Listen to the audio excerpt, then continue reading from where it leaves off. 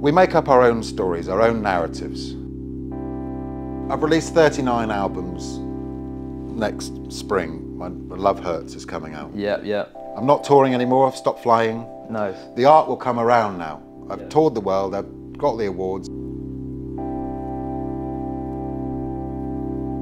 I don't have another 39 albums to make, but I have just decided that there's one I want to make. But this is the first album I probably wanted to make because feel I, I just want to.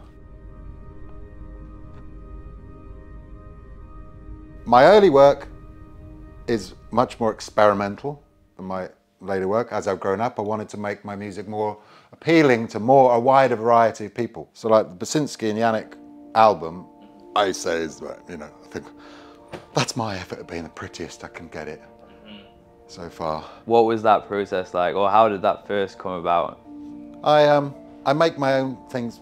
I make things. I I I mix my own recipes and bake them so that they become magical pies of potential. Okay. What? I think a lot of my projects have copious amounts of information, which some people find really interesting, but some people find it overbearing. Don't tell us all about it, Janek. Art is meant to be the eye of the beholder. Oh, wonderful. If people can put a thing on a wall and people adore it and there's nothing else, I'm amazed. That's powerful. If you go into one of my installations, you can take as it is, or you could go to the poster on the wall. I come from architecture where I had to define and justify every single idea I'd had. So with William, I was like, I was at a point where I was thinking, oh God, I want to do less. Who does the less best? Well, Basinski. Mm. He finds a tape loop from the 70s and puts it on, and it decays a bit. And people love it. That's powerful.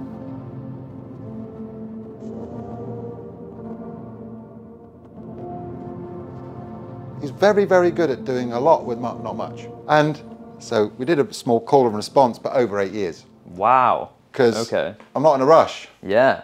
I didn't realize it was over such a. I love things time. dating and peaking when they should. Mm-hmm. I can rush anything. I can do. I meet any deadline. Deadlines rule. My whole career has been defined by creating deadlines, opportunities. There's a there's a competition. Oh, it's a deadline in six weeks. Oh, it's about this topic. Oh, all right then. Off I go. Nail it. Bang on. Perfect. The night before. All night. William. Let's say he's a slow. It's a slow genre decay, evolution. So I just let it roll now and again, see if anything pops up. And eventually it coalesced and, you know, sent it to our label. What was the first thing that was sent? Like, what was the first sound that was sent? Do you remember? Um, we, we had a piece of piano noodlings from our archives and we decided on that as a single source. yeah. and um, and then we just ran with it and extemporized and fiddled and tapestried and until I'd sort of, well, you know, I did most of the composition. Well, you know, it is quite busy for a minimalist album, Yeah. but it's only got a small source, so I think that's quite minimal. Spread across five tracks, and then and I think, well, I think that's a kind of Janek kind of minimalism. It's really a bit like Terry Riley would be on loop. Persian surgery, dervish surgeries, whatever, which I loved in the 90s. So it's, it's really, really busy, not muchness. Nice. This is my first effects pedal. It's a, it's a four second DOD DFX 94. Now I got that for an architecture project. It's a four second loop pedal and since I found that, it can capture and layer four seconds of loops beautifully without clicks. So it's been the fundamental of all my albums, almost. Let's go up here, which is my two arm version, my portable two arm turntable. So it can go forwards.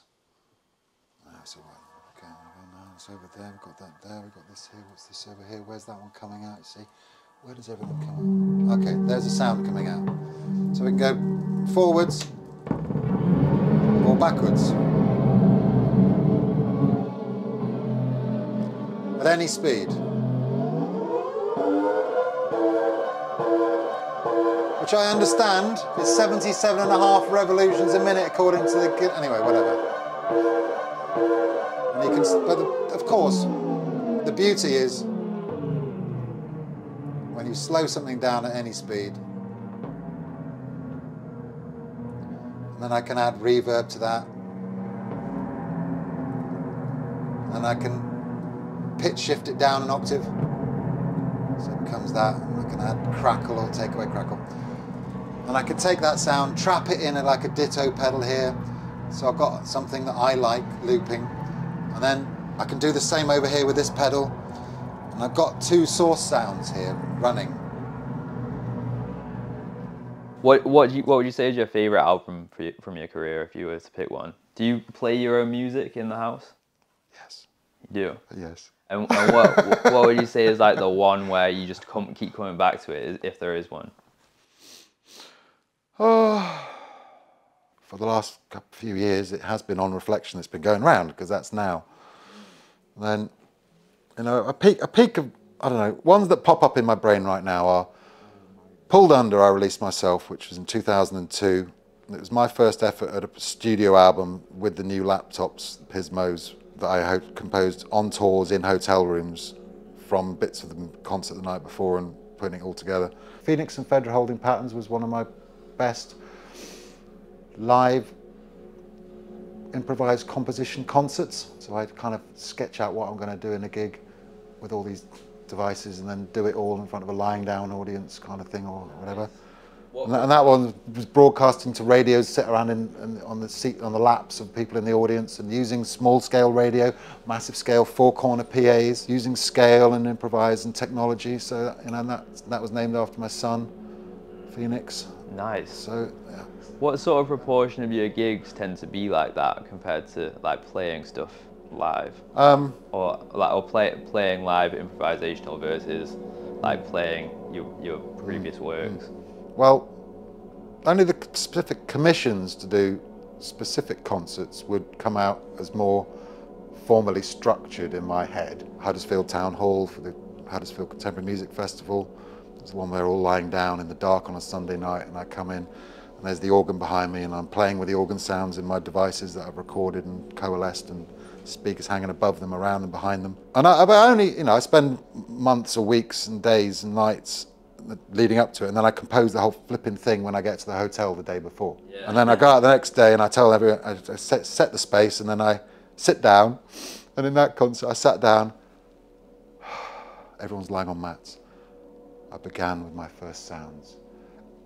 And the caretaker comes walking over to me, ching, ching, ching, with his keys. At the beginning, goes, You can start now. Thanks, I've already started. And it's in the, it's in the recording.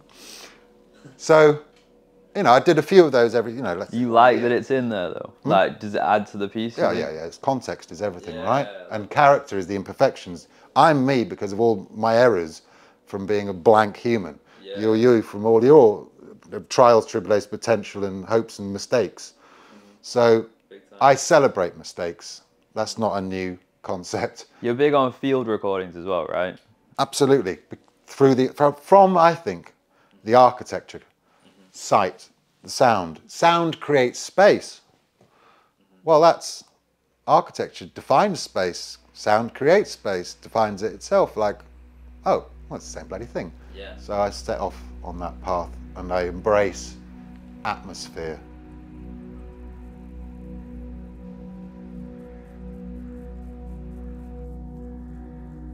All hail people that do things incredibly well. Let's generalize German um, sound engineering or the tone master courses that you learn the technique of how to record an orchestra properly. Wow, amazing. We need that. Thankfully, they've done that work. Now I can go, "Oh, I don't care.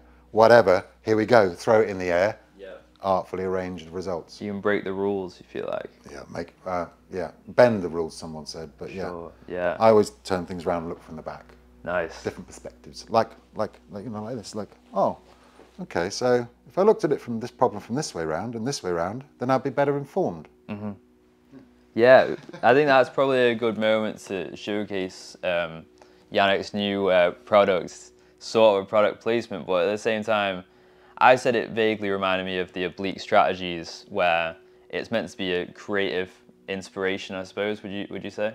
it's a passion project, and there's a way of, I mean, it this started, well, you know, um, it, it collects a lot of my life's thinking and learning, but it really started when I was a children's DJ, and and I was a parent of young children, and I wanted them to know about how to access the world of potential.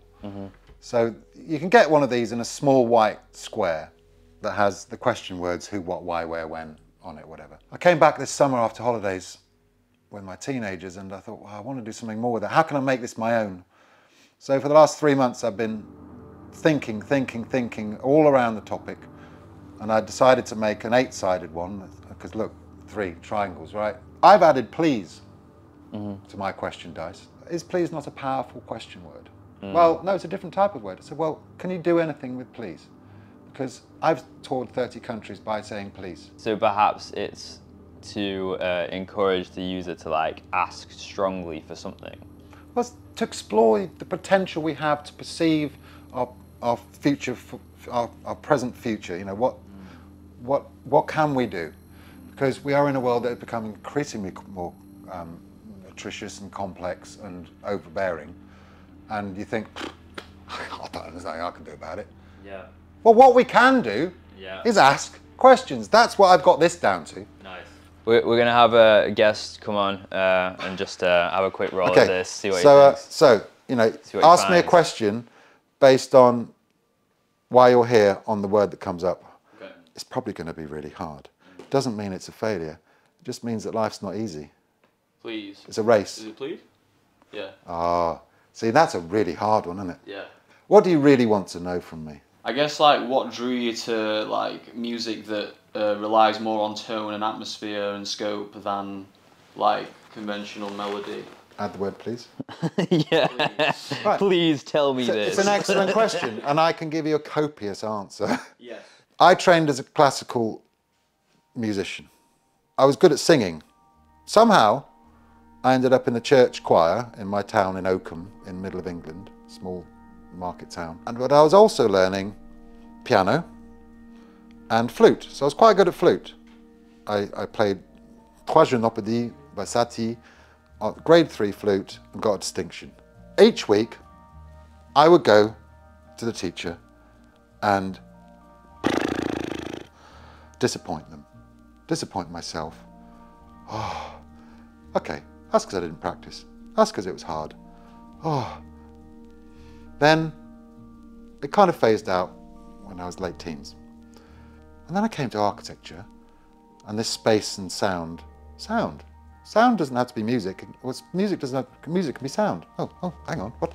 Oh, I really love music. I want to make music. But I don't want to do all that structured stuff. I've never been to arena gigs. I've never followed song lyrics. I just hear the blah, blah, blah, blah, blah. Sometimes, dance with me, dance with me, dance with me. Oh, that's a really simple lyric. I love that. And I like to talk a lot, right? I've got a lot to say and write. But the last thing you'd want ever me to catch doing is singing my profound words to you. Oh, that would make me feel awful. Other people go, wow, Bob Dylan. He's just a poet, man. I'm like, great. So started off with rejecting the rules, like there's no rules for this, right? Making up my own. Oh, it can never be wrong. No one can tell me my music's wrong again. Out of tune, misplaced notes. If they don't like it, fine. But maybe someone, I don't know, I'm going to try and make some sound collage. just because obviously what Will's asked there is um, just a more like I guess sort of a layman's perspective in a way on this on this genre, hmm. and I think there's probably well hopefully going to be some listeners or you know viewers of this who aren't really into this sort of genre, so Right. obviously that's Oh, I got to sell the genre. My music is evocative, emotional, esoteric. Yeah, big words, Janek, but they're all beginning with E. I'm trying to do more E's. Emotional, emotional, and evocative is what I've tried to do with av- avant-garde music. yeah I don't, I don't define myself as new age. Do you? define me as new age in any way? I I would, but I'm not going to argue with you. No. You know. Tell me why. I'm in, so I'm intrigued. Um, just the um, I suppose the sort of drones, big chords, um, a spiritual quality. I don't know if you intend to put that in there, but I I take away from it a spiritual right. quality. Well, that's what my own reason in enjoying my own music is. yeah, yeah, I think, well, this is, you know, whatever it is, I feel uplifted. Mm. And maybe someone else might too. Another time that comes to mind, I've gone to New York, I played a small show, as I've done there, you know, aiming for those things curiosity, intrigue, emotion, evocative, da, da.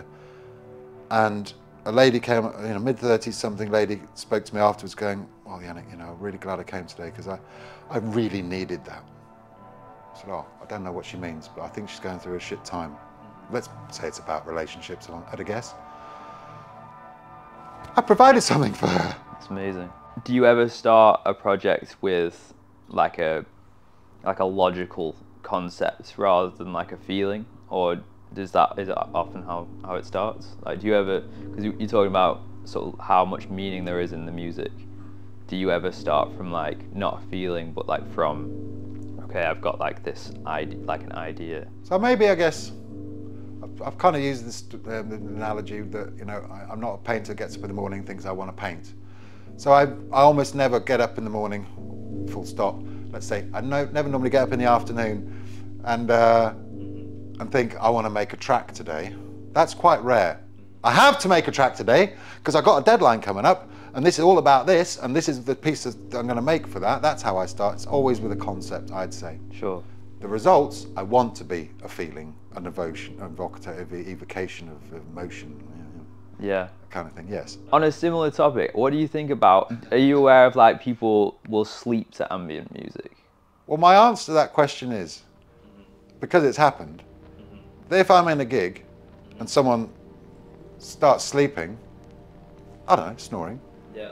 I consider it a great compliment. Yeah, yeah, like Oh, yes! I'm not going to take that as you're bored. I'm going to take that as you're chilled out. yeah. So you like people feeling comfortable to your music? Yeah, yeah, yeah, yeah. That's why they're lying down on mats. Yeah, yeah. It's a happening. I didn't invent the happening, but I certainly pursued it. you think you can dance to your sort of music? Um, only once. Okay, in your lifetime. Yeah. Okay. I set out wanting to make dance music. I loved hacienda, dance music, the early 90s, techno is my favorite genre. R&S Records were my favorite label back then. I'm going to make some dance music because that's what I want to do. Oh my God, did I fail? And I'd hear colleagues, friends go, oh, I spent hours on my compressor to get just the right hi-hat. What are they doing? You could get, you could get a better sound out of the ki- kitchen drawer. Be much more interesting. Yeah. I'm going to go the kitchen drawer way. My brain did not allow me to follow the rules Yeah. of rhythm. Avant-garde, abstract, sound collage art. No rules. Yeah. So what did I do? I failed to make dance music. I made a three-arm record player. How would you describe the uh, emotion of this one? Of this? This is just well, this going round right now is because it's high, it's uplifting. I think because it's high, it's not down and it's doomy. Yeah. And um, you know, it's like um, it's like I'm, I'm ice skating along a, a cotton tightrope through the clouds of above Mount Zeus. I don't know, Yeah. I like that a lot. but it sounds slithery up there-ness. Definitely. We're just going to talk about your new album, uh, Love Hertz, uh, now. So you brought the Indian Shruti box from the process, I assume. I have. Nice, nice. Do you want to show us how it's how how you use it? Yeah, love hurts. H E R T Z. Because, well, you know, um, how does how does love and sound hurts combine?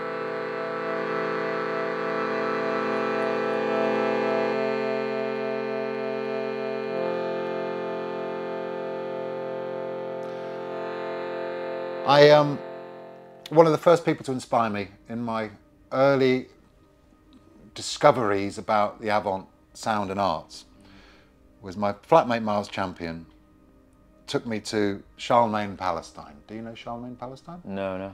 He's from New York originally. He was on the fringe, the edge of the original minimalists like Terry Riley and Steve Reich in that era, and Morton Subotnick. And he used to use a harmonium. And this is, you know, an Indian instrument, fixed note reeds that vibrate. So you can't play a tune on it. It's about long held drones. Oh, I love drones. Always, always have I loved drones. I think it's that fluidity of space for mm. me. Yeah. So I bought that around then when I was working with Charlemagne, and we did, I- you know, I did an album with Charlemagne. I am, wow, yeah, he's a crazy guy. I'm pretty scary. I'm pretty crazy and scary. So we had a great time. We walked around markets and played bells, and uh, came into my life around then. And it doesn't seem to have been a common in- instrument in the in the arts, uh, sound arts. So that's about hertz. That's vibrations of sound, pure wobbly vibrations of sound. And in the last five years, I've been learning an awful lot about the darker side of love.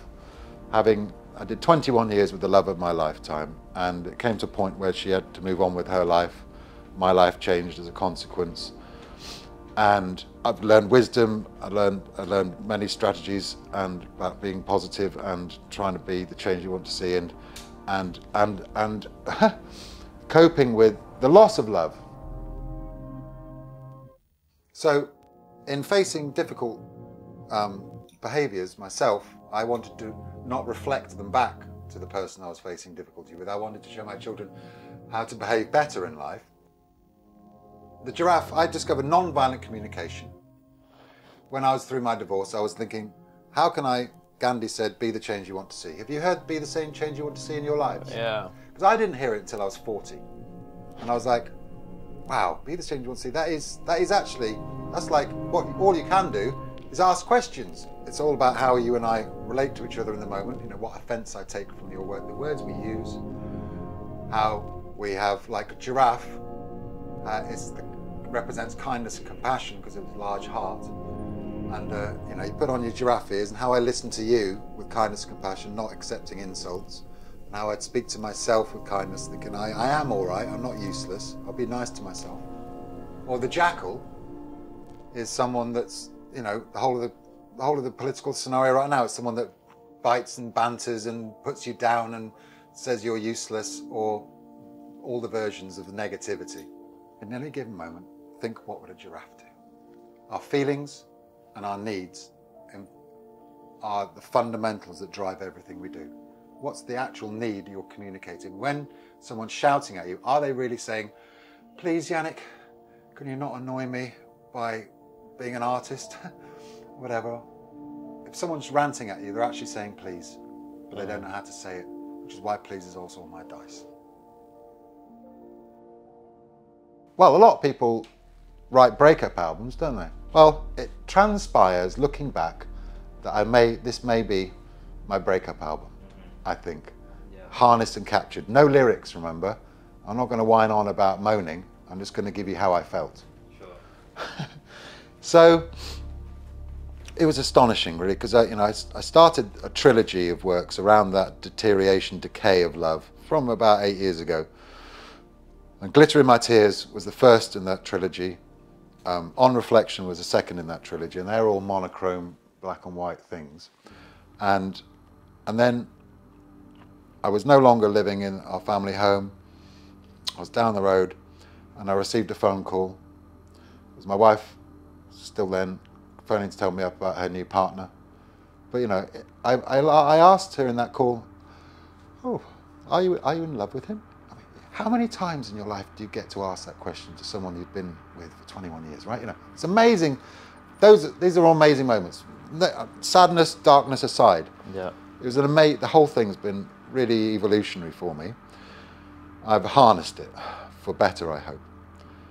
And, and then I put down the phone, and then I realised uh, well, I haven't really grieved this process. She has been the love of my lifetime. We did all the magic, amazing life, wonderful children, have so much big, but it's just gone different now and changed. So then I started to cry, right? Wow, did I revel in the tears. Mm. And what did I do? I grabbed the recordings from this and other things, and I started to write how I was feeling in sound. Like, wow, God. And I write in my text for this work, you know, that I was able to revel in that state of dark ecstasy or something, or, uh, a you know, flip flop, whatever the words you like. But so I focused on writing the sound with these things and the, the organ stuff and using distortion really for the first time as an evocative compositional tool. A lot of my tex- texture vinyl works will all have a lot of distortion and because it's all rubbish quality and and I'll celebrate that but it comes with the territory. But this time I was applying decay and distortion for emotional effect. And uh, at the end of 10 days, lo and behold, well, I do think this album, Love Does Hurt, it's about vibrations. Of all the albums I've ever made, they, I I think I've got to make this. There's a rationale. No one's asking me to. I'm just going to do it. And weirdly enough, the album about love, on reflection, I now listen to, and it makes me all sad. Although it's going to be really pretty, little pinky pianos. Mm-hmm. And this one, which is meant to be dark and deep, gives me great uplifting and joy. Like that's the opposite of what I intended. So it just all came together, Yeah. Yeah. and I'm releasing it myself as as a film of nothing with a soundtrack. With that, no one needs to know about the loss of love in it. Really, mm-hmm. I think it speaks for itself as a, a work Definitely. in a gallery. You don't. If you want to go to the wall and read all about Janek's sorrow and delight and light, it's there. What what genre would you define this album, this new album as? because my concerts and musics can be quite ambiance, mm-hmm. but I do like to rank rack, rack up the sound in live and really ride those sound, sound drones mm-hmm. in a positive way, not a I'm going to kill you way, but a whoa, here we go way. Mm-hmm. I termed it, and I think it relates to this, power ambient. Well said. Well, yeah, the power ambient love hurts. The power of out. ambience. The is power what of- we've been talking about today. Big time. Spring 2024. Yes, yes. So it's coming out then, and Yeah. as soul space, I always ask, um, what is your soul space, basically, which which means, well, what does it mean to you, and what would be the place where you feel like you feel most, you know, spiritually in touch with yourself? You know, I think it might be within my work. I don't think it's within my family or running around in life or a venue. Um, where where does my soul lie? If I want to cry or dance, maybe that's you know. This room here, I have four speakers in here. I have neighbours, but they're just oh, there's a road over there. There's no one over there. I can blast in here. This is my sound pool. Full blast at 4 a.m. if I want to cry if I want to dance. Now, what are the sounds that come in? If I want to really, really, really, really oomph it, like Schlongler de Love Drone by Charlemagne Palestine, where he plays the church resonation organs with long held drones all night on Valentine's. Or Poppy Nogood by Terry Riley. Or Music for 80 Musicians by Steve Reich. So this is where you find my soul space. I think we're sat in it. Yo, thanks so much for uh, coming on the show. I appreciate it. Thank you.